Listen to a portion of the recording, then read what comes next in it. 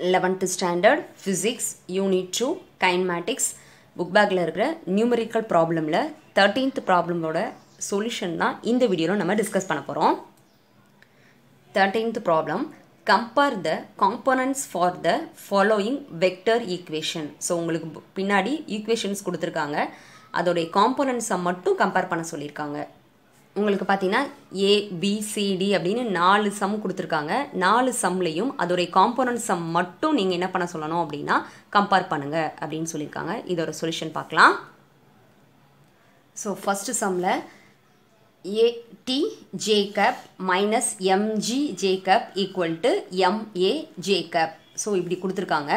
உங்களுக்கு ஆல்ரெடி தெரியும். நம்மளுக்கு இது எக்ஸ் ஆக்சிஸ் இங்கே ஒய் ஆக்சிஸ் இது வந்து இசட் ஆக்சிஸாக இருந்தது அப்படின்னா இதோட யூனிட் வெக்டர் அதோட வேல்யூ எக்ஸ் ஆக்சிஸாக இருந்தது அப்படின்னா ஐ கப் ஒய் ஆக்சிஸாக இருந்தது அப்படின்னா ஜே கப் இசட் ஆக்சிஸாக இருந்தது அப்படின்னா கே கப் ஸோ இது ஆல்ரெடி நம்ம தியரியில் படிச்சிருப்போம். ஸோ அதே தான் நம்ம இதுலேயும் ரைட் பண்ண போகிறோம் ஸோ ஐ ஜே கே இது எல்லாமே உங்களுக்கு யூனிட் வெக்டர் எக்ஸ் ஆக்சிஸாக இருந்ததுன்னா ஐ கப் போடணும். ஒய் ஆக்சிஸ்னால் ஜே இசட் ஆக்சிஸ்னால் உங்களுக்கு கே ஸோ நம்மளுக்கு காம்போனன்ட்ஸை மட்டும்தான் உங்களுக்கு கம்பேர் பண்ண சொல்லியிருக்காங்க. ஸோ இதுலேயும் உங்களுக்கு ஜே கேப் இருக்குது இங்கேயும் ஜே கேப் இருக்குது ஸோ இதை காமனாக நம்ம எடுத்துடலாம். ஸோ அப்போ டி மைனஸ் எம்ஜி ஜே கேப்பை காமனாக எடுத்திருக்கோம். இங்கே எம்ஏஜே ஜே கேப்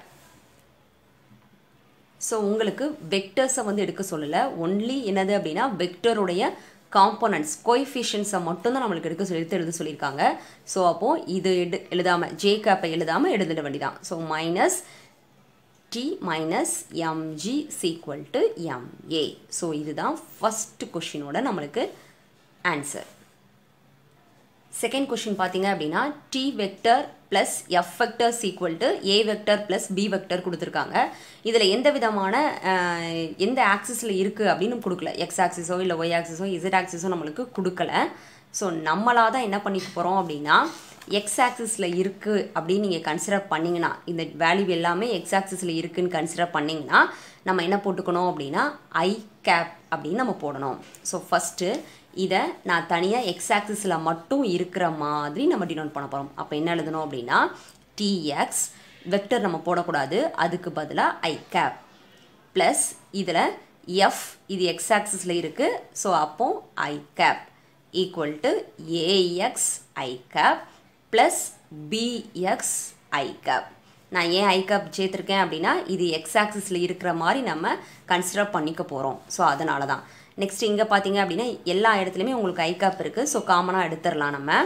அப்போ TX plus FX I cap equal to FX plus BX I cap so நம்ம என்ன சொல்லியிருந்தாங்க உங்களுக்கு? காம்பனன்ட்ஸை மட்டும்தான் உங்களுக்கு எடுத்து எழுத சொல்லியிருக்காங்க. ஸோ ஐயை எடுத்துட்டு T X plus FX equal to AX plus BX so இது எக்ஸ் ஆக்சிஸில் இருந்ததுன்னா அதோட ஆன்சர் இது.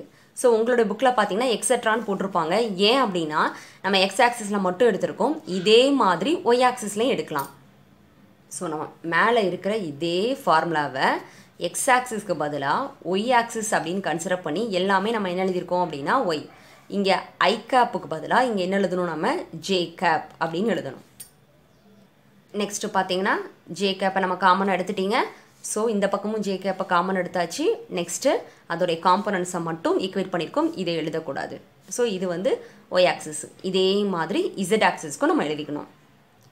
நம்ம எப்படி ஒய் ஆக்சிஸ் எழுதணுமோ அதே மாதிரி இசட் ஆக்சிஸ் ஆனால் இங்கே என்ன போடணும் அப்படின்னா கே கேப் அப்படிங்கிறத போடணும். ஸோ நெக்ஸ்ட்டு காமனாக எடுத்துகிட்டு ரிமூவ் பண்ணிடணும். ஸோ இது வந்து எக்ஸ் ஆக்சிஸ்க்குள்ளான ஆன்சர் இது ஒய் ஆக்சிஸ் இது வந்து இசட் ஆக்சிஸ் ஸோ செகண்ட் சம்முக்கு ஆன்சர் மூணுமே எழுதணும். நெக்ஸ்ட்டு பார்த்தீங்கன்னா சிக்கும் அதே ஃபார்முலா தான் கொடுத்துருக்காங்க. ஸோ நம்மளுக்கு மேலே எழுதின மாதிரி முதல்ல எக்ஸ் ஆக்சிஸ்க்கு எழுதிக்கணும் அடுத்து ஒய் ஆக்சிஸ் இசட் ஆக்சிஸ் நான் ஆன்சர் மட்டும் எழுதியிருக்கேன். ஸோ கண்டிப்பாக உங்களுக்கு புரியும்னு நினைக்கிறேன். ஸோ இதில் டவுட் இருந்ததுன்னா கமெண்ட்டில் சொல்லுங்கள் ஸோ இதையும் எக்ஸ்பிளைன் பண்ணுறேன் நெக்ஸ்ட்டு பார்த்தீங்கன்னா டி சம் டி சம்மில் அவங்களாவே ஆக்சஸ் கொடுத்துட்டாங்க. அதாவது ஜே கேப் அப்படின்னு கொடுத்துட்டாங்க. ஸோ உங்களுக்கு ப்ராப்ளம் இல்லை. ஜே கேப்பை நம்ம ரிமூவ் பண்ணிவிட்டு ஸோ அதோடைய காம்பனண்ட் மட்டும் எழுதுனீங்கன்னா ஆன்சர் ஸோ இதுதான் டிக்கான ஆன்சர் ஸோ காம்பனண்ட்டை மட்டும் நம்ம ரிமூவ் பண்ணிவிட்டு ஆன்சர் எழுதியிருக்கோம். ஸோ கண்டிப்பாக இந்த சம் உங்களுக்கு புரிஞ்சிருக்கும்னு நினைக்கிறேன். ஸோ ஏதாவது டவுட் இருந்ததுன்னா கமெண்ட்டில் கேளுங்க. கண்டிப்பாக எக்ஸ்பிளைன் பண்ணுறேன் நெக்ஸ்ட் வீடியோவில் ஃபோர்டீன்த் சம்மோட எக்ஸ்ப்ளனேஷன் பார்க்கலாம். தேங்க்ஸ் ஃபார் வாட்சிங்